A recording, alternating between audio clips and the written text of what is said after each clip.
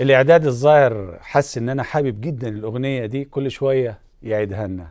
يعني أنا بطلب من السادة القائمين على هذا الإعلان الجميل إنه يعملوها لو سمحتم لو سمحتم بكل اللغات إنجليزية فرنسية إسبانية نيمت لأن العالم هيشوف ولادنا الحلوين أطفال مصر الجمال. شكرا يا أمي.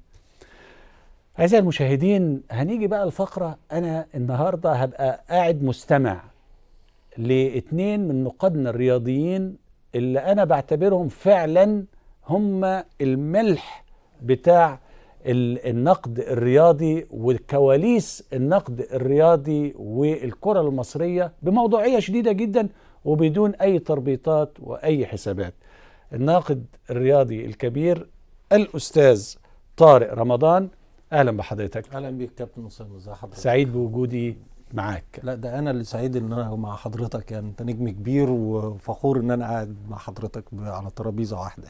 الله يبارك فيك. وأيضا الناقد الرياضي الكبير صاحب بقى الإحصائيات والأخبار اللي بتيجي لنجومنا اللي جاي اللي بيلعبوا في العالم واللي الناس مش عارفة هم فين. الناقد الرياضي الكبير الأستاذ خالد طلعت. أهلا بيك يا خالد. أهلا بك كابتن أسامة وبتشرف بوجودي مع حضرتك طبعا ومع أستاذ طارق وإن شاء الله تكون حلقة جميلة للسادة المشاهدين. إن شاء الله. وأنا نبتدي على طول مع الأستاذ طارق ونقول له إيه الحكاية؟ إحنا رايحين فين مع اللخبطة اللي فيها اتحاد الكورة والكاف؟ وأنا عارف إن عندك كتير ممكن تقوله. بص يا كابتن أسامة ويمكن صديقي العزيز الأستاذ خالد طلعت يوفين في الرأي. إحنا بننتج فيلم شفناه قبل كده. نفس السيناريو نفس اللقطات نفس المشاهد ما عدا بس تغيير في الأبطال نرجع. للموضوع آه آه، للفيلم انت سميته فيلم ما هو فيلم لأن ما طب دام اتكررت فيلم؟ لأن اتكررت أحداثه قبل كده. يعني إحنا شفنا كابتن جمال علام بنفس المجلس ده ما عدا ثلاثة أربعة ما كانوش موجودين فيه أيوه تم إصدار قرار من المحكمة حكم محكمة بالحل أيوة. ودخلنا بقى في الاستشكالات ودخلنا في رد محاكم وبدأنا ناخد إجراءات فترة طويلة جدا وانتهينا لنفس المشهد اللي هو مشهد النهاية اللي هو قرار من سيد وزير الشباب والرياضة بحل المجلس وبعته المحكمة على أساس إن أنا التزمت بهذا الحكم واستقالة من كابتن جمال علام والمجموعة إن هي عشان الفيفا ما يتدخلش أيوة. فهو أنت رايح لنفس المشهد يعني, أنت متوقع إن القرار هيطلع من وزارة الشباب والرياضة بالحل بالحل لأنه لازم ينفذ حكم القضاء آه، هو لازم لأن المادة ما 100 يقدرش. في الدستور المصري بتلزمه على إنه. ينفذ حكم ال- بالظبط. حكم القضاء حكم فأنت المحكمة. ه- هتستهلك بس بعض الوقت اللي هو الاستشكالات طيب هو الإقناع. هو حل يا طارق هو حل هو حل. تمام. طيب لما حل طب إيه ال- الخطوة اللي بعد الحل هيعين مجلس لا. هيعمل وهيعمل لا إيه اولا لائحة النظام الأساسي اتحاد الكرة ما فيهاش تعيين أيوه. ما تقدرش تعينه تاني. طيب يبقى في الحالة دي لأن في فرق؟ بين الهيئات اللي هو نادي الأهلي أيوة. نادي الزمالك. دي الهيئات. أيوه. تقدر تحل وتعين. وتعين كويس. و- وتعين مرة واحدة ما تعينش مرتين. نقطة جميلة دي. يعني آه. حتى في قضيه حل حلوة. النادي الأهلي النهارده أنت بتتكلم على مرتين. آه. تعيين نفس المجلس مرتين وده مخالف. تمام. لكن اتحاد الكره ما يقدرش يعين. لائحه واضحه في حالة طيب. الاستقاله أو الحل. يدير؟ العميد ثروت سويل يبقى بنتكلم على المدير التنفيذي. آه طبعا. ويدير بنفس الشكل هو الإيه؟ العاجل والضروري ويدعو الانتخابات في خلال 60 يوم. تمام. فأنت بالتالي السيناريو ده هو اللي هتقدر تروح له وهم اللي متفقين عليه في الأصل. يعني, حضرتك شايف إن ده المتوقع يعني؟ لا ده اللي هيحصل. ده اللي هيحصل. يا ده أنت عندك ثقة كبيرة. آه لا ده اللي هيحصل. لأن أي. حل من آه. ده خلاف كده هيدخلك في مشكلة. آه. طب هم هيرضوا بقى أنا سامع تصريحات لا كل التصريحات بقى اللي هو اللي مثلا لا أنا مش هسيب مش الاتحاد، هسيب لا مش آه عارف إيه. أنا الفيفا آه لا أنا أروح آه، وتدخل هو- حكومي وتدخل لا لا لا كل اللي حضرتك بتسمعه ده هينتهي على الإقناع لأن تم الاتفاق خلاص ما بين الدكتور حسن مصطفى رئيس اللجنة الثلاثية وبين سيادة الوزير وما بين المهندس هاني أبو ريدة. آه. الاستشكال بس إحنا هنستناه استشكال. أيوه. استشكال فين؟ ما هو هنا بقى الحاجة الجميله قوي إن اتحاد أيوة. الكرة المصري ما بيبلغ الأعضاء الجمعية العمومية بتاعته بتقول له لا يجوز ليك إن أنت تروح للقضاء. اتخاذ. إجراءات في القضاء العادي ممنوع. أيوه وخد إجراءات ضد حتى لو لو أحد الأعضاء عمل جناية عمل ما هو يقول لك ممنوع اختلاس عمل بتاع ليه يعني ممنوع؟ لا بس الجنايات مختلفة شوية يا آه. كابتن آه. ارتكبت جناية ده بتروح القانون الجنائي لكن في في الرياضة ممنوع يعني زي رفع قضية لحل الاتحاد خلاف يبقى ده ممنوع القضايا. الإدارية آه، القضاء الاداري فاتحاد الكرة بنفسه يروح يتخذ إجراء قدام القضاء الإداري كويس. اللي هو الاستشكال. الاستشكال قدام القضاء الإداري. طب لو عمل استشكال أمام القضاء المدني فأي تعامل سواء قضاء إداري أو أو مدني أو أي حاجة ده ممنوع عليه هو كاتحاد كورة إن هو يعمله. أيوه. طبقا لقراراته وطبقا للائحته وطبقا لقرارات الفيفا ممنوع عليك أنت تروح للقضاء لاي نوع من أنواع لا اي القضاء. نوع من أنواع. لأن ف- القضاء المدني مرفوض طبعا مرفوض. لأن لا يحل حكم محكمة قضاء إداري لا هي هو هيستشكل قدام نفس الدائرة. قدام نفس يعني نفس هيستشكل القضاء. قدام نفس الدائرة. فبالتالي الاستشكال ده حاجة بس إحنا بن إيه يعني بنقضي وقت مع بعض. آه. لكن هو من ناحية الإلزام خلاص السيناريو تم الاتفاق عليه. الأعضاء حتى هم الأعضاء اللي هم هيعترضوا برضه تم الاتفاق عليهم. محدش يقدر ياخد خطوة يروح بيها للفيفا ويعترض لأن هو كابتن هنا بريده قال أنا مش هعرض الرياضه المصريه للخطر. وده موقف وده موقف تمام، يعني هو اتفق خلاص. يعني أنا مع- أثنيت على على ال- على بالظبط مع الدكتور ده حسن مصطفى ومع الوزير على السيناريو اللي أنا بقول لحضرتك عليه ده. طيب النهارده لما بقرا يا طارق ب- بعد إذنك يا خالد. معايا لأن الموضوع مشوق يعني. بس هرجع لك ما لا تقلقش. ده عنده آه. عنده حاجة. لأن عندك حاجات قد إيه أنا عارف كويسة. لو أنا لسه قاري النهارده إن بعض أعضاء مجلس الاداره رافض. يعني زي سحر الهواري زي حازم الهواري زي يعني أنا مش فاهم ليه يا فندم يرفض. آه. أصل الرفض الإعلامي حاجة عبد الغني. بص الرفض الإعلامي حاجة آه. والترابيزة حاجة تانية. يعني أنا ممكن أطلع بتصريحات أقول لك أنا رافض الكلام ده ومش هعمل وهلجأ وه... لكن في ساعة الترابيزة وساعة ما نقعد وساعة ما يبقى في قرار ده بتختلف. فهل ما القرار هو يبقى نفس جماعي؟ لا هو خلاص ما إيه؟ هو ما دام اللي هيقدموا استقالتهم أيوة. كله هيقدم استقالته. برضه نفس المشهد اللي حضرتك بتقول ده كان برضه في مجلس الكابتن جمال علام وكان في بعض أعضاء معترضين ومش هنقدم استقالتنا ورافضين وفي ناس قدمت وفي ناس اتاجلت ووصلنا للنهاية استقالات. أيوه. لأن الم... المشهد مش هيتحمل أكتر من كده. وبعدين ده تاني اتحاد يتحل مع في زمن سيادة الوزير. يعني عنده؟ عنده خبرة في, في التعامل مع الحل. ثانيا حكم المحكمة. طب أنت قلت حاجة مهمة. اللي هو يا طارق حقيقة إن ده تاني اتحاد آه طبعاً. يتحل. طيب هل هنا الخطأ إداري من البداية؟ طبعا. طيب إزاي؟ ما هو آه، حضرتك حيثيات حكم المحكمة بتتكلم عن الحكم السلبي اللي ما تمش تنفيذه. اللي مين اللي كان اللي المفروض ينفذه الوزارة طبعا. ما أنا فاهم يعني على مين؟ على اتحاد الكورة إن أنت ما تعملش مين؟ انتخابات أيوة. فيها اتنين مرفوع عليهم قضية مستبعدين اللي هو تاخد الحكم يوم الانتخابات ورفضت اللجنة تستلمه. أيوه. وبالتالي لم يتم تنفيذه. ده ده العظم والأساس بتاع الحكم. أيوه. لأن حتى لو كانت بعد كده يعني حتى لو ما كانش ده واترفع قضية للحل كان ممكن المجلس يتحل ما عدا رئيسه. أيوه. يعني الرئيس يتم استثنائه والمجلس نفسه يتحل. أيوه. لكن هنا انت حليت المجلس كله, كله. بناء على الحكم السلبي اللي هي الوزارة ما اتخذتش قرار عشان تنفذه لأن أيوة. الوزير لو خد قرار التنفيذ كان المشكلة اتحلت طب هل في مساءلة للوزارة هو مين اللي يقدر يسال الوزارة لا مش في برلمان. مش في برلمان لا البرلمان وفي لا البرلمان البرلمان يعني انت عارف لجنة الشباب والرياضة ولجنة الشباب والرياضة معانا ولجنه الشباب والرياضه إحنا مع بعض وممكن نحل الحاجات مع بعض وبعدين أول ما تحط اسم مصر في جملة كله بيتراجع مين اللي. طب ما كان سالوا قبل كده يعني كانت يعني البرلمان التخبط الإداري يعني يعني البرلمان كان بنتكلم سأله قبل كده يعني. البرلمان كان سأله في حاجات كتيرة آه. جدا لكن أيوة. حتى قانون الرياضة اللي حضرتك كنت بتتكلم عليه دلوقتي اللي هو إحنا يعني طلع 50 مرة قانون الرياضة الأسبوع ده الشهر ده بعد أنت في خل... يعني أنا لسه سامع سنة الصبح. 2014 أيوة، لسه قانون لك- بعد شهرين يقول لك الشهر, 2014 الشهر الجاي. خلي بالك إحنا عملنا أيوة. قانون رياضة يعني بس مش بس مش حتى موضوعنا. حتى بص حتى مش حضرتك ده موضوعنا يعني آه. حتى القانون. ما حضرتك بتيجي بتتكلم دلوقتي عن الرابطة وعن شركات. آه. يعني إزاي يبقى آه، بتكلم عن رابطه ودوري محترفين وشركات وأول بند في القانون الهيئات ال- آه، الرياضية ذات نفع عام. آه يعني. أول ما بند. التعريف بقى يا طارق. أيوة، انت لازم بند. تعرف لي الهيئات الرياضية وتعرف لي يا. فندم ما بقول لك على أول بند نفع عام أيوه حضرتك برضو في القانون ما, ت- ما يقدرش الهيئة الرياضية تروح تعمل ملعب لنفسها لما الوزير يوافق يعني و... آه أنت حاطط لي تحت كده استثمار وتعمل شركات طب ما القانون 75 لسه 77 في استثمار وفي شركات واللائحه كانت هنعمل. على فكرة يا طارق بعد يعني أنا بكلمك على تناقض بس التناقض صح أنا يعني أنا. التناقض بس في حتة إيه ومن ي... اللي هو متصور إن قانون ال- الرياضه عندما يظهر إلى النور وعندما يقر وعندما يبدأ تنفيذه إن ده يقضي لك على مشاكل الرياضة المصرية يبقى بي لا لا بيضحك لا عليك. لا لا ده لأن حتى حتى في اللجوء إلى لجنة التحكيم أيوة. لا اللجنة اللي محطوطة في القانون. عندما تلجأ لا- ما هي برضو نفس القرارات هي اما تعرض لها الموقف وتعرض لها الإجراءات اللي أنت خدتها. يقول لك ما أنا هدي سلطة للجمعية العمومية. لا. هنا بقى لازم نقف. يلا. السلطة المطلقة فساد مطلق. بالظبط. يعني ده وده إحنا هيبقى لا يعني ده في كتير. لا ده في حاجات كتير. لأن موضوع القانون ده إحنا درسناه كتير بالظبط. قوي وعملنا 155 مادة. ثانيا قبل ما تروح لخالد ويمكن خالد بقى يسأل يعني هسأل آه، لا، لا، السؤال ده. وخالد يشاركنا بقى في الكلام. آه اتفضل. حضرتك اديني إنجاز واحد ملموس للكره المصرية. في الفترة في الاخيره الفترة الأخيرة في, في الفترات الأخيرة. آه آه. اديني إنجاز واحد آه طورنا بيه الكرة المصرية. وصلنا النهائي كأس الأمم الأفريقية. آه بس التاريخ كتب إيه؟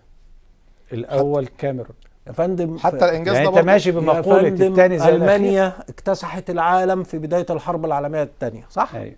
واحتلت العالم كله. ثم التاريخ كتب إيه؟ أن الحلفاء هم الذين انتصروا هم الذين وضعوا التصور وألمانيا رجعت تاني تحت ال... يبقى مش معنى إن أنا رحت. وتقدمت وعملت إن أنا عملت إنجاز. الإنجاز يكتب إن أنا إيه؟ يتكتب اسمي إن. أنا اللي بفرض رأيي وإن أنا اللي بفرض إرادتي وإن أنا مكتوب كده البطل في كذا. لكن زي ما خالد هيتكلم دلوقتي كم محترف عندك؟ كم نادي بيقدر يبقى عندك قواعد ولوائح أنت مطبقها؟ كم تطوير في أسلوب اللعب وفي طرق اللعب وفي خطط اللعب؟ كم نادي بيقدر يكتسح البطولة؟ كم تبادل للبطولة ما بين الأندية؟ ده اللي تقدر ت... إحنا طورنا في كورتنا آه. قد إيه؟ النهارده أنت حضرتك بتتكلم في اللعبة طب أنا هقول لك على نكتة بقى وخالد يتكلم. هو خالد هيكمل إمتى؟ معلش يا خالد هقول النكتة دي وأسيبها لك. اتفضل. ما كابتن معتمد جمال المدير الفني المنتخب 97 اللي هو الشباب آه. يقول في حوار رسمي حوار معمول معاه حوار. إن اللاعب رقم 14 في غينيا غينيا. قدر إن هو يلعب على أربعة من منتخب مصر والأربعة يجهدوا. حضرتك يقوم طالع اللاعب يعني أنا برمي على عليه عليه- لاعب آه. فاللاعب يجي لي بعد خمس دقايق يقول لي أنا خلاص مش قادر. مش قادر. فأقوم نقله حتة تانية وبعدين رايح موديه تاني. خمس دقايق ويجي يقول لي أنا خلاص مش قادر.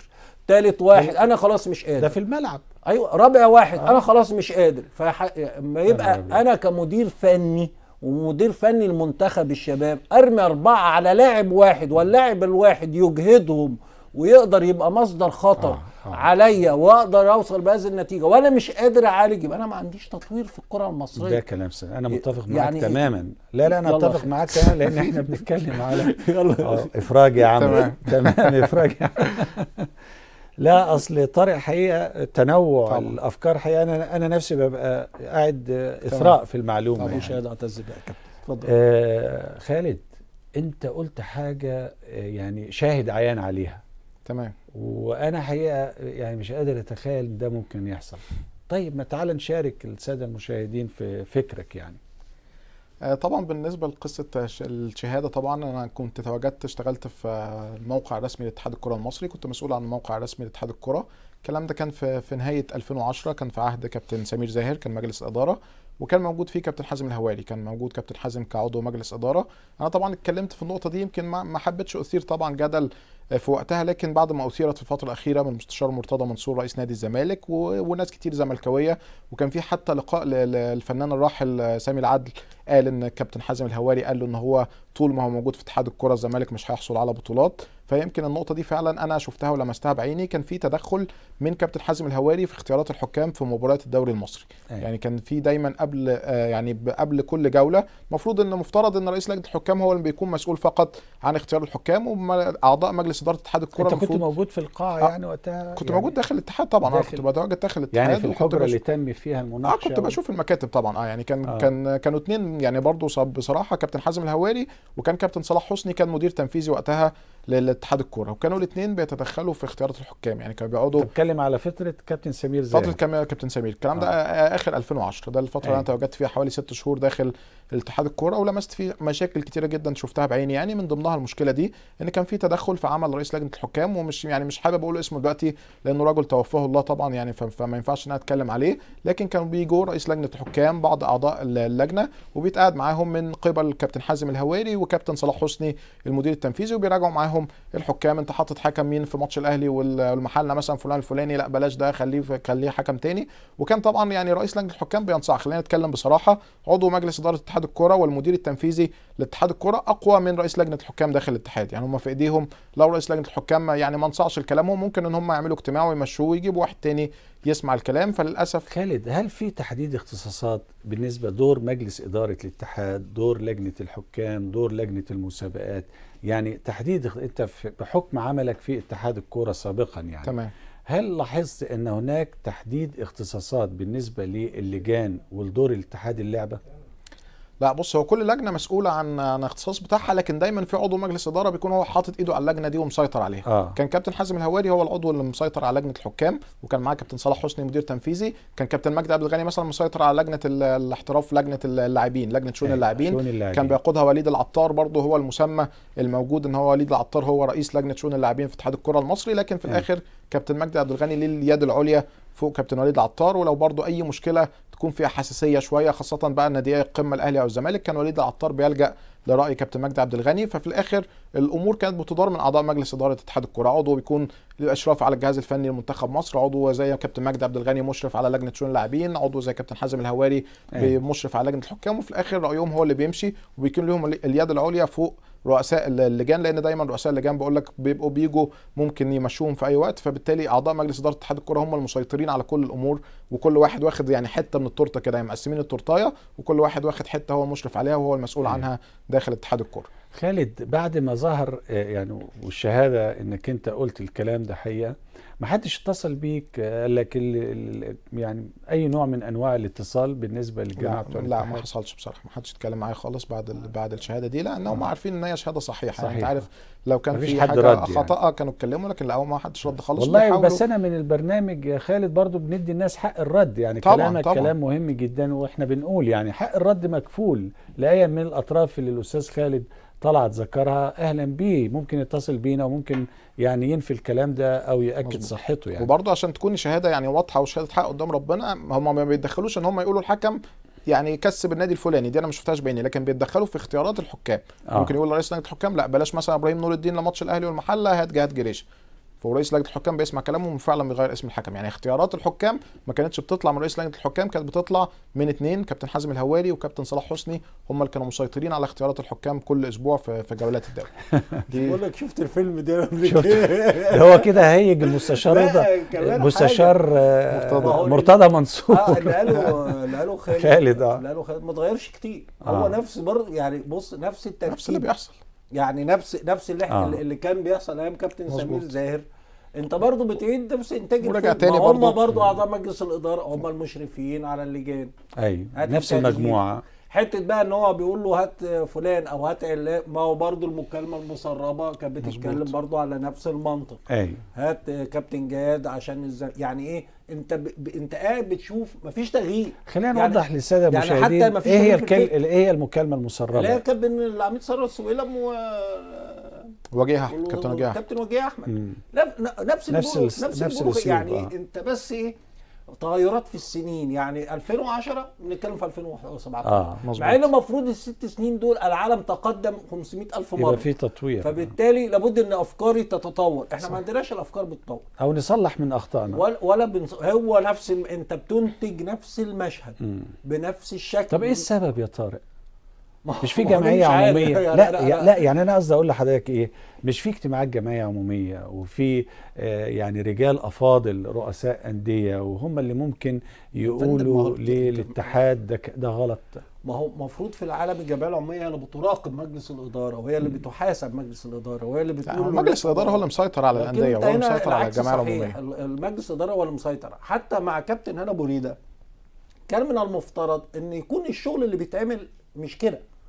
يعني حتى هو بيتكلم على آه، آه، الدعاية الانتخابية بتاعته. كان بيتكلم على لجان احترافية وشباب هيخشوا إدارة محترفة وانتهينا لإيه؟ لقصة آه، مكنة الشاي اللي هتتحط. لا البدل الرسمية اللي هتتلبس اللي هو اللي هو كل واحد لابس يونيفورم بدلة وراحوا بيها زاروا مستشفى ابو آه، ده انتهينا مجلس إدارة الاتحاد عملوا لهم آه، بدل. يعني آه، عشان وكان مكتوب عليها مش عارف اللي هو أول حرفين من حروف الاتحاد كده. آه ظهروا آه. بيها كلهم في مستشفى ابو والله. تبرع هو زيارة جميلة حلوة لا يعني. أنا ما عنديش مانع. آه، آه هو تبرع اتحاد الكره من فلوس الأندية للمستشفى. ما عنديش آه. مانع برضه. لكن أنا بتكلم على إيه؟ أنت انتهيت إلى إيه؟ وخلافات داخل اللجان وخناقات وتسريبات ثم عمل في القنوات الفضائية ثم عدم تفرغ. انتهينا لنفس المشهد يمكن كان منضبط قبل كده لكن انت انتهيت لنفس المشهد ثم انتهينا لإيه بقى؟ أسرع اتحاد كره يتم حله.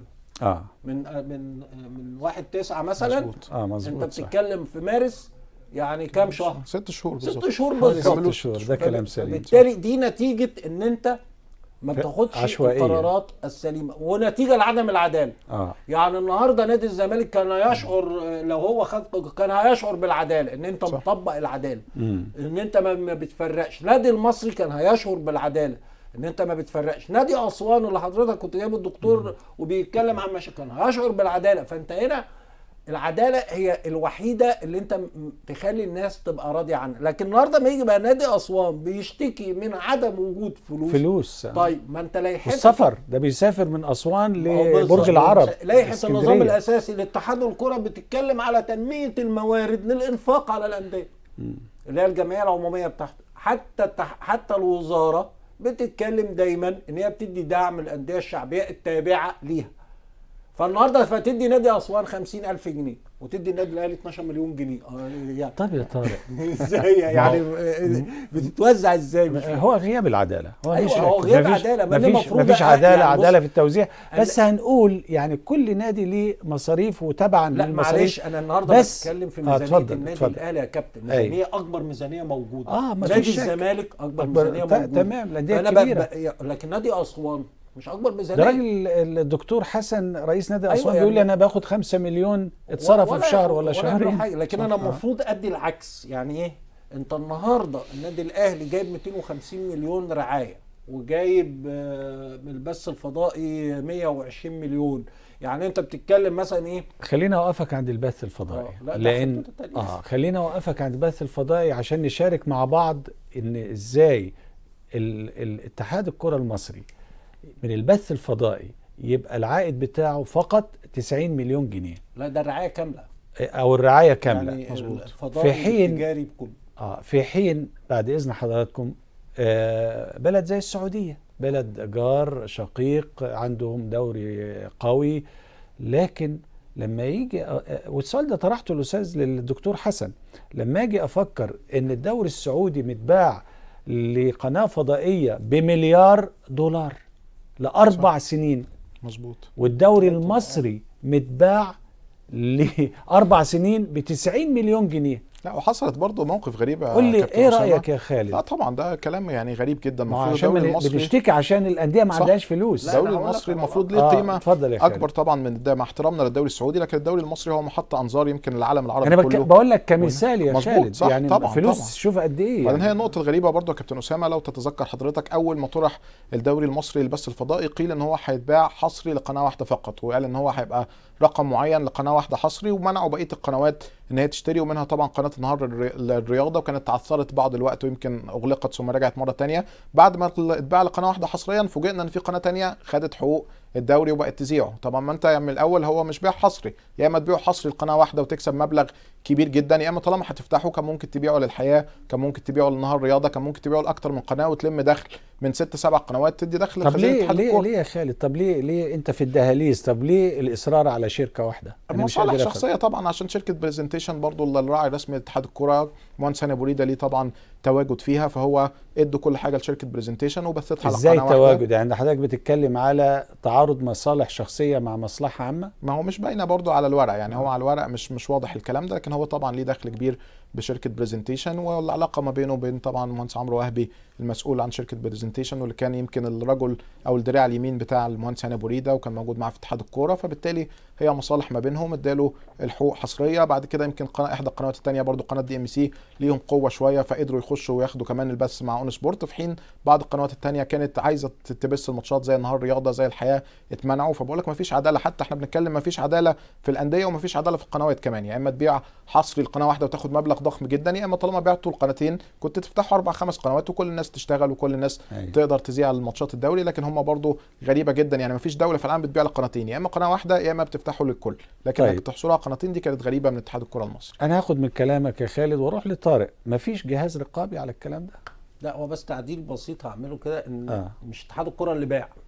آه okay. هي الأندية اللي باعت. بعت آه البرزنتيشن الأندية باعت منفردة ولل... فهو هنا خارج ال- تمام. لكن هو إن لما تتكلم على رعايته هو كاملة بماتشات المنتخبات كلها بكواليسها بحقوقه في الدوري الممتاز والدوري ب والكاس ال- وكاس مصر والسوبر. أنت بتتكلم على الحقوق التجارية بالتلفزيونية 90 مليون. إن الأهلي مثلا باع حقوق التجاريه والتلف... والتلفزيونية بأكتر من كده. صح. الأهلي باع حقوق التجاريه بقى يعني مش الدوري بقى. إيه. إحنا بنتكلم على نادي باع حقوق التجاريه ب 250 كويس. يعني الضعف. وبس التلفزيوني في سنتين ونص ب 120 يعني لجنة الأندية هي المسؤولة عن التعاقد مع أيوه الأندية؟ راحت باعت كل واحدة لوحدها يعني لا يعني هو كل واحد راح ما في لوحده. الآخر اللجنة آه. وافقت على قرار تمام. الأندية فكل تمام. نادي مسؤول عن عقده أيوه يعني كل نادي هنا فاتحاد الكرة كان خارج هنا ال- المنظومة حتة قناتين أو قناة ده فكر كابتن هاني بوريدة. طارق. يعني كابتن هاني بوريدة هو اللي قال إن الدوري مثلا السنة الجاية اللي هو السنة اللي فاتت ديت مثلا هيبقى على قناتين بس. آه okay. فبقى على قناتين. كان قناة النيل للرياضه وكان أعتقد معاها كانت إم بي سي. وبعدين جينا آه، دخل الدي إم سي السنة دي فبقى تلا... على ثلاث قنوات اللي هو أون والنيل DMC. للرياضه ودي إم سي والنهار واخدة ملخصات طبقا لاتفاقات معينة. لكن إحنا بنتكلم على إيه؟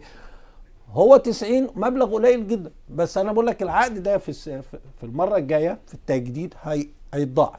آه أوكي. إيه رأيكم نروح لشكرا يا أمي؟ تمام. جميلة بصراحة. طبعا حلوة جدا. أعزائي المشاهدين فاصل ونواصل مع اتنين من أحسن نقادنا اللي بيقولوا لنا حاجات كتير قوي قوي غايبة عني حقيقة. وبيخلوني أنا كمان عايز أسأل أسئلة كتير. فاصل ونواصل.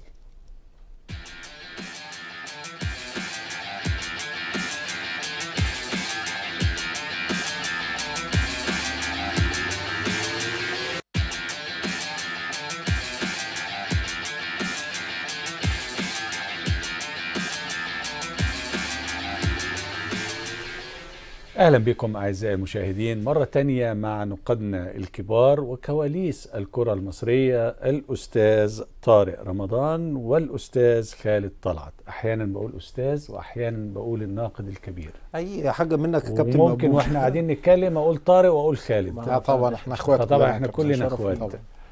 اتفضل حضرتك كنا بنتكلم في جزئية فين الرقابة لا ما هو الرقابة ما هو إذا كان هو نفسه ما, ما بيعتبرش رقيب على نفسه. مم. يعني من المفترض إن أنا مش محتاج رقابة. أنا مع مجموعة محترفة. يعني كابتن هنا بريده آه، راجل محترف. ده راجل عالمي. بيتكلم في مكتب تنفيذي في الفيفا وبيتكلم في في الكاف وبيتكلم في ترتيبات. وكان عضو لجنة التطوير اللي عاملاها الفيفا أو اللجنة اللي هي عملتها عملها إنفانتينو لتطوير أداء الفيفا. يعني. بعد الحوادث اللي حصلت هو كان عضو فيها. فبالتالي أنا بتكلم على حد المحترف من المفترض إن اتحاد الكرة المصري ده أنا أديره وأنا قاعد بالتليفون يعني. أعملوا لجنة كذا وأعملوا. هم صحيح كانوا بيديروا بالواتساب بس يعني مش محتاج يعني. أنا خبراتي أقوى من كده. لكن اللي إحنا شفناه في ست شهور صح. يعني ما ما في يعني ما يدلش على أي حاجة. كله مشغول كله مسافر كله قاعد كله حسب اللي عايز يتخانق على منصب النائب. مع إن اللائحة ما فيهاش نائب اللي بيتخانق على إنه يشرف على منتخب. مش عارف منتخب إيه ويسافر اللي بيتخانق عشان آه، لا نزود الميزانية ديت اللي بيتخانق عشان ال- الهدايا اللي بيتخانق عشان ال- مكنة اللي مش عارف إيه اللي بيسجل ويطلع يسرق يعني إحنا شفنا أداء غريب الشكل ما آه. مش محترفين في الحكاية مش مهني مع احترامنا كل كل الشخصيات يعني. يعني, لكن آه. إحنا بنتكلم على أداء إيه يعني حتى كوبر يعني. أنا بس ببص كمان. يعني أنت معترض على كوبر يا طارق؟ لا مش على وجهة. نظرك يعني. معلش إحنا معترض- هنروح لحتة تانية. لا أنا مش أصل أنا لو معترض كلمتكم في فنيات مش هخلص. لا أنا مش معترض على آه. شخصية مستر كوبر. آه. أنا معترض على إن دايما مستر كوبر بدأ يعودنا على أداء دفاعي. إحنا مش مت... يعني مش مبسوطين بيه.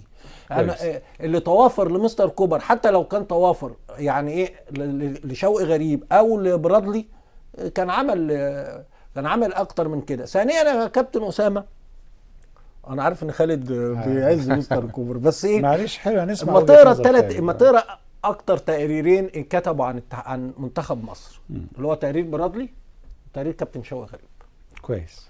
تلاقي أول جملة ومستعد أجيب لك التقرير ونحطهم على الشاشة هنا. تمام أول جملة وحتى تقرير مستر كوبر أول ما جه مستر كوبر أول جملة بتتقال والله الراجل بيتكلم. انت بالفيديوهات وأنا برضه ماشي. أول جملة يقول لك أنا بعمل منتخب مصري قوي وبجدد الفرقة أول جملة اتحطت في تقرير برادلي بعد أزمة غانا كابتن شوقي غريب قال الجملة وعدد السن ده 26 سنة ونص 11 لاعب ده كذا وعدد أسماء موجودة مع مستر يعني طارق حامل ما موجود مع مستر كوبر أساسي مع مستر كوبر كان مع كابتن شوقي ما كان في سموحة. ثانيا الاثنين اتكلموا عن انخفاض اللياقة البدنية. عندنا مشاكل في التمركز عندنا مشاكل في اللياقة البدنية. كابتن شوقي غريب عدي خمس معسكرات. أو ست معسكرات اتعملوا له. كل واحد أسبوع كل واحد أسبوع كل واحد أسبوع كل واحد أسبوع. مستر كوبر بسم الله ما شاء الله عامل معسكرات قد إيه. حتى مستر كوبر لما جه ويمكن كنا بنتناقش أنا وخالد قبل ال- الهوا لما بنتكلم على القماشة والمهارات واللعيبة. قال لك برضه أنا جاي أعمل منتخب قوي وقماشة اللعيبة. طيب مين اللي قال؟ هنا بقى ببرأ مستر كوبر بصراحة يعني لازم أديله حق. هو مين اللي قال إن الدوري المصري يتلعب كل ثلاث أيام؟ أوروبا. و- و- ويحصل فيه؟ لا أوروبا. ده أو أنا بقول لك أو إن أوروبا، أسوة. بما أوروبا- يتبع في الدوريات أوروبا- الأوروبية. أوروبا أنا معاك. والدوريات الأمريكية. أنا معاك. نفس الكون... نفس ال... أيوة. الأسلوب. لكن أنا. بتكلم مين اللي طلب وتحقق له هذا الطلب؟ كابتن شوقي غريب في تقريره كويس. قال اللعيبة مش قادرة على إنها كانت بتلعب كل ثلاث أيام طبقا للاتحاد الأفريقي فأنا عايز الدوري هو قال أربع أيام مش ثلاث أيام. قال لك عايز اللعيبة تلعب أربع أيام. جه مستر كوبر بصراحة نفذ بس خلاها ثلاث أيام. بس قدرات اللاعب المصري عندنا مش كده طب يعني ليه يا كمية طارق؟ الاصابات ليه يا طارق؟ لأن يعني أنا إيه ما- قدرات؟ ما هو قول لي على قدرات- مدير فني أو خالد طيب يمكن عارف كل ممكن المديرين. ندي نديله بقى آه يعني أنا عارف كل المدير. قول لي على مدير فني بيطبق خطط تدريبية يوم كامل لأي فرقة. لا ما هو هنا هنوصل بقى إذا سمحتوا لي بس بعد خالد اتفضل يا. خالد. هقول رأيي يعني هو آه، أنا بقول رأيي. لأن دي حتة الفنية. ليه؟ إيه الاختلافات؟ اتفضل يا. خالد. لا طبعا بالكلام على هيكتور كوبر أنا شايف هيكتور كوبر عمل إنجاز كبير يا كابتن اسامه والأرقام والنتائج هي اللي بتقول. يعني الكلام ما فيهوش آراء شخصية خالص. مستر هيكتور كوبر استلم المهمة كان قبليه هو أستاذ طارق قال برادلي وشوقي غريب. وشوقي... برادلي ما فشل في الوصول لتصفيات كأس لنهايات كأس أمم أفريقيا وخرج على إيد منتخب اسمه أفريقيا الوسطى. ملوش أي وجود على قر... على الساحة الأفريقية. تصفيات كأس العالم خسر أمام غانا 6-1 هزيمة كانت كارثية لمنتخب مصر. بعد كده جه كابتن شوقي غريب بنفس جيل اللاعبين تقريبا اللي كان مع برادلي واللي كان بعد كده مع هيكتور كوبر لعب ست ماتشات في تصفيات أمم أفريقيا خسر أربع ماتشات منهم. نتيجة برضو كارثية وهي الأسوأ في تاريخ منتخب مصر في التصفيات خسر من السنغال رايح جاي خسر من تونس رايح, جاي ما كسبش غير بوتسوانا فقط منتخب ضعيف جدا وخرج يمكن كان ثالث المجموعة وخرج من التصفيات بشكل مهين وبرضه ما وصلناش كأس أمم أفريقيا. مستر هيكتور كوبر جه تسلم منتخب بقاله سبع سنين ما بيوصلش كأس أمم أفريقيا ثلاث بطولات متتالية لعب تصفيات كأس أمم أفريقيا ست ماتشات خمسة فوز وواحد تعادل. تعادل وحيد مع نيجيريا خارج ملعبه خمس انتصارات تصدر المجموعه وصل على حساب منتخب قوي. نيجيريا متصدرة لا مجموعة لا آه، ال- خلاف سيبك من نيجيريا. مين اللي التانيين اللي معاه؟ ما انت يعني قلت مين لي. تنزانيا. ما هو لعبت تنزانيا.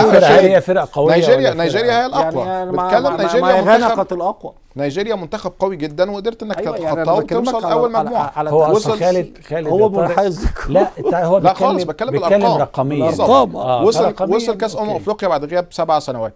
وصلنا كأس أمم أفريقيا قائمة منتخب مصر 23 لاعب فيهم ثلاثة فقط شاركوا في أمم أفريقيا قبل كده. عصام الحضري أحمد فتحي أحمد المحمدي 20 لاعب أول مرة يشاركوا في كأس أمم أفريقيا. ما عندهمش خبرات عندهم رهبة من البطولة. أول مرة يلعبوا بطولة مجمعة قدام منتخبات قوية. قدر إن هو يتخطى بالخبرة دي وفي ظل الإمكانيات المتاحة آه الاداء ما كانش جيد لكن عمل خمس مباريات فوز متتالي ثم خسر المباراة النهائية وصل النهائي في ظل الكوكبة الموجودة دي من اللاعبين. أنا شايفه إنجاز كبير جدا. نروح تصفيات كأس العالم. فايز في أول مباراتين على الكونغو خارج ملعبنا وإحنا قلما أو نادرا ما بنفوز خارج ملعبنا في تصفيات كأس العالم قدر يفوز على الكونغو هناك وهي منتخب برضو قوي. ثم الفوز على غانا هنا 2-0 في ال- الغانا اللي كسبتنا من ثلاث سنين بنفس اللعيبة تقريبا 6-1 فاز عليها شاء الله 2-0 عليك. فاز عليها في كأس أمم أنت أفريقيا. حافظ يا خالد. لا خالد في الأرقام ولا أنا عايز عشرة عايز عشرة. لحضرتك على- ما شاء الله. لا لا لا بسم الله ما شاء الله عايز أقول لحضرتك على حاجة. أنا عملت اتفضل عملت إحصائية رقمية لكل مدربي منتخب مصر خلال آخر 30 سنة. طبقا للماتشات الرسمية فقط. يعني طبعا عملت حذفت الماتشات الوديه لأن بيبقى فيها بعض التجارب بعض النتائج ماتشات رسمية فقط. هيكتور كوبر أفضل مدير فني لمنتخب مصر في اخر 30 سنة بنسبة نجاح 80% 80% من النقاط لمنتخب مصر سواء تصفيات أمم أفريقيا آه. أو تصفيات كأس العالم أو نهايات كأس العالم. نسبة هيكتور كوبر معدية كابتن الجوهري طبعا الراحل الله يرحمه معدية كابتن حسن شحاتة اللي فاز بثلاثة أمم أفريقيا متتالية طبقا للأرقام. عدد مرات ماتشات عدد فوز تعادل هزيمة. مستر هيكتور كوبر هو أفضل مدير فني لمنتخب مصر في آخر 30 سنة بالأرقام. بالارقام لا لا دي معلومات رائعة حقيقة أصل لو اتكلمنا رقميا فلازم نرجع أنا برضه. أنا ما أقدرش رقمياً مع- برضو؟ مع خال لا, لا. لا ما أقدرش ده طيب. ما أقدرش ما ما أعرفش فيها لكن آه. أنا بتكلم على إيه اتفضل هيكتور كوبر أقوى فرقتين قابلهم نيجيريا وغانا كويس تمام تمام بعد كده تشاد وكونغو وتنزانيا ومين تاني لا المغرب منتخب قوي جدا ولا لعبوا كده لا هو قصدك في المرحله الأخيرة. المغرب. ده في أفريقيا ما- هو قصده هو التصفيات فوز عليه طالع 1-0. على نيجيريا التصفيات وغانا. يعني أنت فزت على 1-0 بدون آه. كهرباء لا، وكان يعني الماتش يعني- الظروف يعني المغرب و- فريق آه، قوي يعني في المغرب المغرب انت فريق لسه من. شوية. قلت النتائج لا التاريخ بيذكر على- أنا النتائج بتكلم على طبيعة الفرق اللي أنت قابلتها مش. ممكن تشاد تفوز عليها هناك وهنا يعني تبقى كان مشكلة. أفريقيا الوسطى مش كسبتنا. ممكن تنزانيا يعني ما هو إذا كان أفريقيا الوسطى كسبتك ما هي برضو أنا ما قابلتش الفرق القوية اللي هي سيراليون. والنيجر في آخر فترة كابتن حسن شحاتة. خرجنا. من سيراليون خالد والنيجر اديله اديله طيب، بتكلم- خليه أنا- خليه يعبر عن لا وجهة الأرقام نظره بتاعتك أنا آه. ما عنديش أي مانع. أنت ممكن هو لا، أحسن. لاعب بالنسبة للرقم آه رقميا آه. اللاعب اللي, اللي تقول لي عليه رقمي باص باص في الملعب 65 آه، إيجابي وغلط في اثنين أنا ب- ب- ب- ما أقدرش أناقش آه، في الأرقام آه، لكن أنا بتكلم على طبيعة الفرق اللي المباريات اللي هو المنافس طبيعة التكتيك اللي إحنا. بنعمله النهارده اما اخش بطوله مجمعه زي ما انت بتقول ما عندهمش خ... أنا مع... يعني إيه خبرة أفريقية؟ محمد صلاح بيلعب فين؟ بيلعب في أوروبا. دوري أوروبي. ماشي. يعني بيلعب في رو... في روما. روما دوري.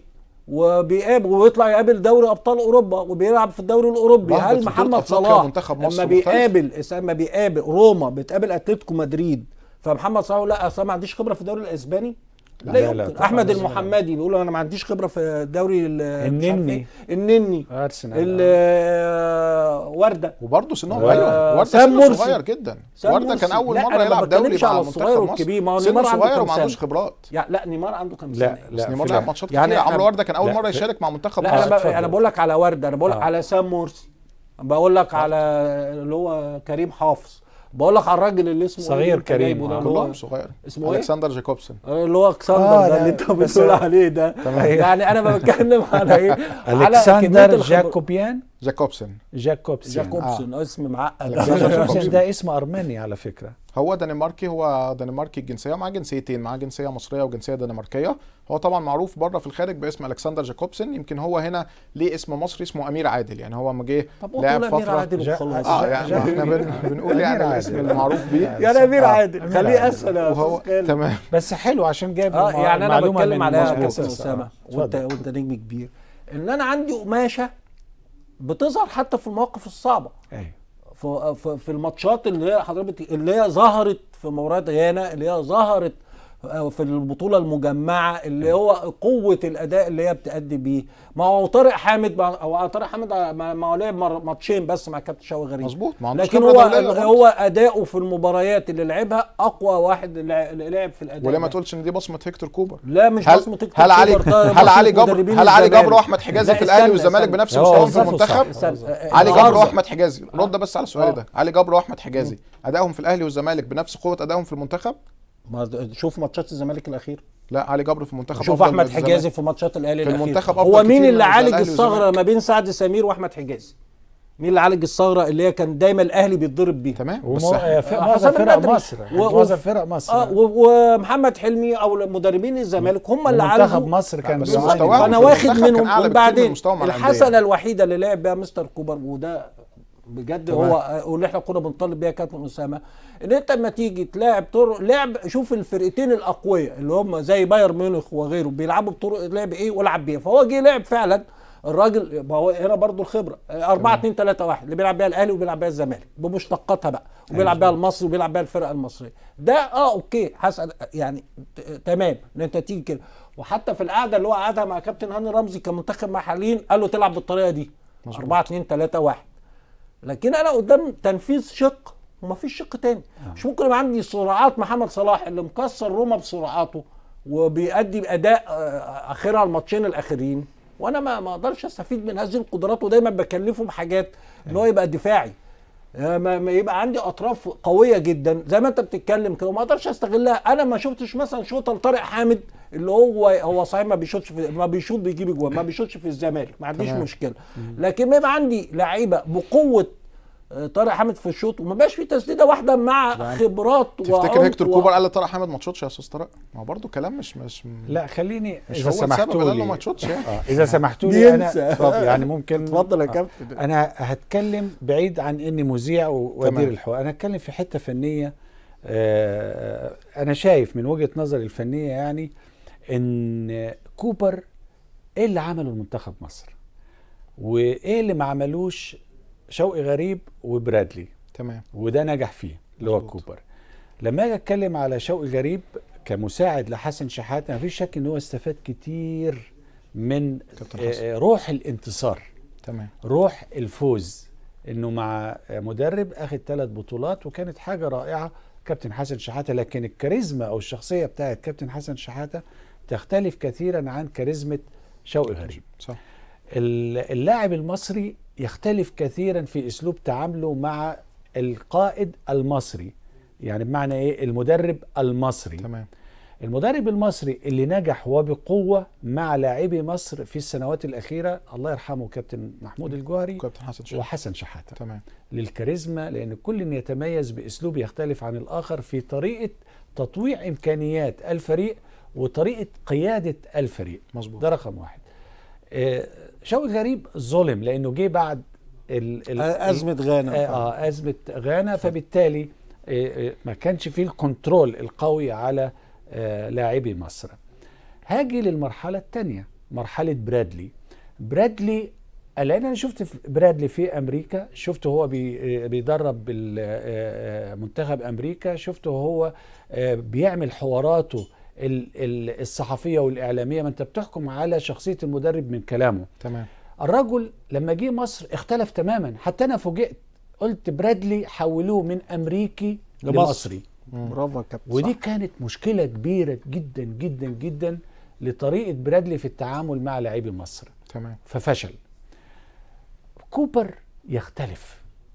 كوبر مش أحسنهم فنيا لكن كوبر أحسنهم من قوة التركيز. داخل الملعب وإيصال المعلومة بمهام محددة لكل لاعب ملتزم بيها جوه المباراة. مظبوط. أنت تقرأ المباراة على وجه كوبر. شوف كوبر أثناء المباراة درجة التركيز بتاعته قد إيه حتى في أقصى لحظات الفرحة. أنا صح. بتكلم على ناحية نفسية تماما بس. ليها ومهمة كلاعب كرة يعني. ليها تأثير قوي صح. جدا جدا على اللاعب داخل لا الملعب وديكتاتوري آه. ديكتاتوري ما آه. بيزعلش. آه ممكن. وحتة الالتزام؟ والانضباط برضه يا كابتن أسامة دي مهمة جدا يعني. الانضباط والالتزام. استبعاد حسام غالي واستبعاد باسم مرسي بسبب بعض المشاكل اللي أنا عثروها احييه خلت كل اللعيبة تلتزم في أنا احييه مش بصرف نظر عن الأهلي والزمالك ده. نجم هنا أو ده نجم هنا لكن أنا بفكر في إيه؟ بفكر في المدرب اللي عنده القدرة القدرة على إنه رقم واحد يقول للأهلي والزمالك لأ. مظبوط. يقول للجماهير الأهلي والزمالك لأ. صح. أنتوا شايفين دول نجوم أنا شايفهم مش هيفيدوا فرقتي. هنا صح. لازم أفكر في الظاهرة دي.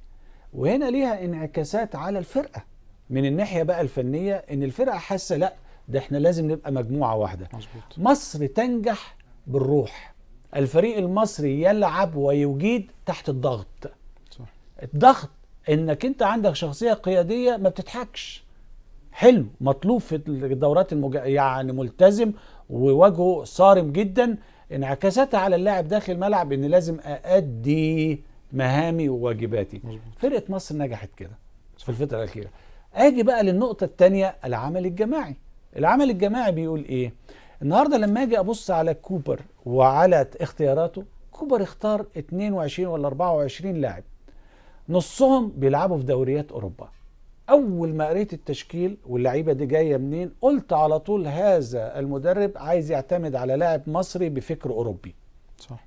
الفكر الأوروبي هنا بصرف النظر بقى عن النتيجة بصرف النظر بقى عن إيه أنا بفكر في إزاي أعمل فرقة جديدة لمنتخب مصر. هل أعمل فرقة جديدة لمنتخب مصر بطريقة التفكير بتاعتنا للأسف الشديد؟ آه، في اتنين من الزمالك يبقى لازم أجيب اتنين من الأهلي في خمسة من الأهلي يبقى لازم أجيب مش عارف آه، أربعة من الزمالك وهكذا.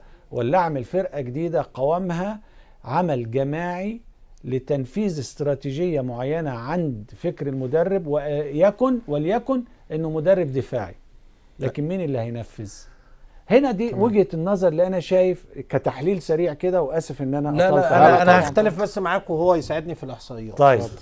لا اتفضل أنا مع حضرتك لو هو طبق الفكر اللي حضرتك بتقول عليه ده 10 على 10 تمام لكن نيجي المباريات اعتماد مستر كوبر على المحليين قد إيه؟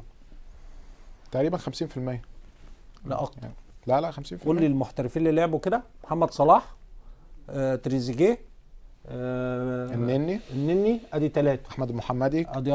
أحمد محمد لعب كام ماتش؟ لا كان أساسي بعد من بعد التاني بعد ماتش. كام ماتش؟ تاني ماتش كان أساسي. ثالث ماتش. أوكي. أدي ثلاثة وكهربا محترف. وكهربا. وعمرو وردة بص محترف. طارق خالد. عمرو وردة. طارق بص خالد. عامله خالد آه تمام. 33 هدف و 11 ده قبل ما يدخل البطولة. أيوه يعني لا ده اللي عامله خالد ما لا لا مش أنا اللي عامله ده. لا احصائيات يا 24 كابتن مباراة أسامة. 16 فوز 4 تعادل أيوة، 4 ماشي. هزيمة سجل 38 هدف دخل فيه ما 11 هدف فقط. ده قبل ال- قبل البطولة. يا فندم تمام. والله بيقولوا لي أيوة في في, في الكنترول. دي قبل البطوله أيوه يا فندم أنا فايز على على اسمها إيه؟ كونغو خم... آه، خمسة هناك حاجة كده في التصفيات. لا أنا متفق. بص يعني أنا بتكلم أنت عليه لو هو بيعتمد على اللاعب الأوروبي بالظبط صح على الفكر بتتكلم على. المنافس مين؟ بس رق- رقميا برضه لا رقميا خالد صح. صح, هو آه. صح. أحسن واحد رقميا كوبر ما عنديش مشكلة. لكن أنا بتكلم على الفكر اللي حضرتك آه، بتقوله اللي إحنا بن... لو آه. هو بيعتمد على الفكر الأوروبي والرجل الأوروبي وهو مشكل قوام المنتخب من أوروبا أنا معاك. لكن ده عبد الله السعيد أساسي ورئيسي في كل الانتصارات اللي عملتها مصر. في ماتش غانا عبد الله السعيد. أيوة. في ماتش آه، ال- أوغندا عبد الله السعيد محمد صلاح ليه عبد الله السعيد ومحمد تلاتة صلاح الثنائي اللي بيتشكل معاه اللي هو لنجاح مستر كوبر وإنجازاته. فبالتالي أنا عندي لعيب عالمي ولاعيب محلي اللي هو عبد الله السعيد اللي هو قوام النادي. الأهلي. فبالتالي أنا بتكلم إيه؟ لو هو بيشتغل بالفكر ده ما عنديش مشكلة. لكن أنا بقول لك ديكتاتوري في إيه؟ أيوة. إن النهارده اما يجي عبد الله السعيد يتكلم معاه فنيا في حتة إن هو الأطراف ما بتطلعليش في ماتش مالي الأول آه، ماتش. لا ده كان آه، يقول له أطراف ما بتطلعليش. يقول له خلاص اقعد ماتش اوغندا ماتش مالي وعبد. الله السعيد لو ما كانش جاب في جون في ماتش أوغندا ما كانش شاف تاني اما قعد رمضان صبحي الفتى الصغير النبغة اللي هو يقدر يشتغل معاه عشان خطأ بيعمله أي مراهق. إن هو مثلا لا شاط طبعا لازم شاط- يعني شاط. أي حاجة. راجل شاط حاجة. معترض كل الماتشات. لولا إن كهربا خد الإنذار ما كانش رمضان صبحي لازم ده, ده الانضباط. كان عايز هل- يرحله هل- الانضباط ده مهم رمضان جدا. لا ده مش انضباط ده. ديكتاتوريه في التعامل اما ابقى على عايز. أمشي رمضان. صبحي من الجابون وارحله. لولا اللعيبة يبقى تمام. ده ديكتاتورية في التعامل وعدم معرفة انضباط والتزام ده. أهم لا القائد المنضبط بنظر طارق طارق ليه وجهة نظر مظبوط. وانت ليك وجهة نظر القائد المنضبط خالد هي صح، يعني صح. مظبوط. لا انا إحنا أنت عارف. طبعا طبعا لا هو. طارق شايف من وجهة نظره إن دي ديكتاتورية ديكتاتورية تؤدي لكن أنت. شايف لا، في نفس الوقت يا انضباط. خالد إن ده انضباط أنا عايز والتزام. لحضرتك على القائد حاجة. القائد إيه إيه ال- هيكتور إيه كوبر الشعرة اللي بين حضرتك؟ قلت كابتن محمود الجوهري وكابتن حسن شحاتة في الكاريزما كابتن محمود الجوهري ما كانش حد يعني بنظرة واحدة كان اللعيبة كلها طبعا نجح كابتن حسن شحاتة. بت- ببصه كانت اللعيبة. آه. ده القائد القوي لكن النهارده يبقى عند رمضان صبحي عمل آه، أي حاجة كده فقول له ارحل من الجابون وامشي واللعيبة تقعد تتحايل عليا وتطلع لي معلش يا مستر كوبر والنبي يا مستر كوبر ده رمضان.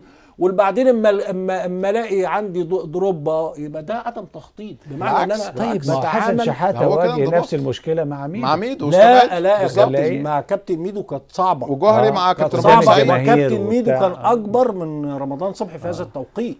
يعني عنده خبرات لا ومحترف يعني حاجة. ظاهرة لكن دي. حاجة كانت ظاهرة بتاعت آه. رمضان صبحي آه، ما عملها كابتن أحمد حسن قبل كده في النادي الأهلي ومع ذلك ما حدش قال له اترحل واقعد ما حدش أحمد ما الانضباط ده كويس. طارق، ما حدش الانضباط والقوة بقوة الشخصية مش بديكتاتورية القرار. آه آه ده وجه أنا بكلم هي وجهة نظر لا. وجهة يعني نظر خلينا نتكلم يعني لا بالعكس أنا أحترم جدا وجهة نظرك يا طارق وأحترم جدا وجهة أنا شايف الانضباط يعني. والالتزام ده كان سر يعني نجاح آه. المنتخب وصوله النهائي. هو استبعاد حسام غالي واستبعاد باسم مرسي خلى كل اللعيبة تركز وتنضبط وخلى المنتخب يوصل النهائي في ظل الظروف دي. وأنا شايفه إنجاز كبير. أنا عايز قدامنا وقت أقول لك حاجة على أفريقيا بكرة ولا خلصنا؟ لا أنا عايزك تكمل طيب أنا بص أنا مستمتع بيك الانتخابات بكرة بتاعت أيوة. المكتب التنفيذي للفيفا. أيوه لأن لازم أتكلم في الكاف بص عندنا عندنا خلي بالك. إحنا فاضل لنا دقيقة يا لا طارق خلاص خلاص أنا والله. ما حسيت عيسى بالوقت حياته والله ما حسيت يا. خالد أنا مش حاسس وأنا معاك بس. عيسى حياته هيختار لو نجح هيختار خليفته اللي هيخلفه بعد كده. ادي واحدة. اتنين عيسى حياته مش مهتم الكاف بمعنى صح اللجنة التنفيذية للكاف. أيوة. مش مهتمة بأصوات تجمع الكسوفة. 14 صوت النهارده أما اللجنة التنفيذية امبارح. تاخد قرار بإحالة رئيس الكسوفة ورئيس اتحاد زيمبابوي اللي هم ضد عيسى حياته إلى لجنة الانضباط. آه. خدوا قرار امبارح لجنة تنفيذية امبارح أيوة. يقول لك أوسط لجنة الكاف بالإجماع تستمر لجنة في التحقيق بقضية رئيس اتحاد الكسوفه ورئيس اتحاد ليه بقى؟ قال لك عشان أساءوا لشرف كاف يعني أساءوا. ده عيسى حياته آه خلي عيسى. حياته آه ثانيا إن هو يلعب اللعبة إن إيه كابتن هنا بريده هو الأول كابتن هنا بريده نزل على المقعد المفتوح آه. سيبك من محاولات إرجاعه للمقعد المغلق طارق الوقت بينتهي بسرعة يعني ده أنا لازم بكرة- تاني وتالت ورابع. هيلعب على الملعب فيطلع له أيوة. اللي, اللي, اللي هو يسقط في الم... في المقعد المغلق يروح على الم- المقعد المقعد الحر. ده يعني لعب على آه أعلى لا لا هو في لعب طبعا. ربنا يوفق هنا صوت بريده مصر لكن- بقى؟ آه صوت مصر اللي هيحطه كابتن حازم الهواري آه كمان حازم آه هو اللي هيحط صوت مصر هيحطه لمين؟ يلبس البدلة بقى أحمد. يلبس البدلة. آه ما طبعا بقول لك واضح مش أحمد أحمد آه. صوت مصر مش هيروح لأحمد أحمد هيروح لعيسى حياته بالظبط تمام آخر نقطة بس أخيرة نقطة يا كان حبيبي. دكتور حسن عبد القادر رئيس نادي أسوان كان اتكلم آه. في حتة إن نادي وادي دجلة أو شركة وادي دجلة كانت هي الراعية لنادي أسوان وفي فلوس متأخرة. يمكن أنا برضو قبل ما أدخل هوا سألت في القصة دي وعرفت معلومات. هي شركة وادي دجلة كانت مرشحة شركة أخرى لنادي أسوان هي اللي عملت رعاية عملت رعاية لوادي دجلة وعملت رعاية لنادي أسوان. فهي الشركة دي يمكن تقاعست عن الدفع بعد كده فبالتالي هي مش شركة وادي دجلة الأساسية هي شركة أخرى أوكي. وادي دجلة كان مجرد بس وسيط أو مرشحها لنادي أسوان عشان برضو احقاقا للحق عشان ما يبقاش فيه إساءة لا لا. بالعكس أنا بشكرك على توضيح المعلومة بشكرك جدا يا خالد بشكرك جدا يا طارق. وبعد كده أنا مش هجيبكم مع بعض لا كل واحد ولا خالد بس أنا بقى, خالد خالد لا ما والله. لا, لا، بس. الحلو في الموضوع إن أنا بستفيد طبعا والمشاهد والخلاف الرأي لا. يفسد الود قضية آه والله ما فيش يعني شك يعني وأستاذ أنا كبير بشكركم حقيقه و- وأنا جدا سعيد إن أنا ببقى جنبه وسعيد إن إحنا. بنتناقش دايما و... لا رائع رائع رائع لا يعني أنا بشكركم خالد شخصية جميلة يعني. بشكرك. بشكرك جدا يا بشكرك طارق جدا. حقيقه وبشكرك جدا يا خالد على. المعلومات الجميلة وعلى. الحوار الحلو الثري اللي إحنا حقيقه استمتعنا بيه مفيش شك أكيد. المشاهد استمتع بيه أعزائي المشاهدين أشكركم يعني والوقت حقيقة مر سريعا وأنا والله ما حسيت بيه. ثلاث ساعات ما حسيتش بيه. يعني أحلى حاجة في الموضوع شكرا يا أمي. شكرا. يا ريت وإحنا بنخلص تنزلوا لنا الإعلان الجميل ده بعد إذنكم. شكرا. بيقولوا لي بفلوس على فكرة. أعزائي المشاهدين إلى أن نلتقي بكم إن شاء الله. أسامة خليل يحييكم.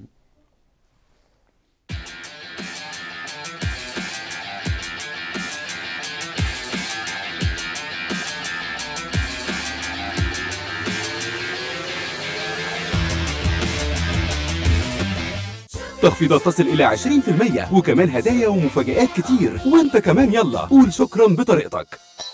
العربي صناع الثقة.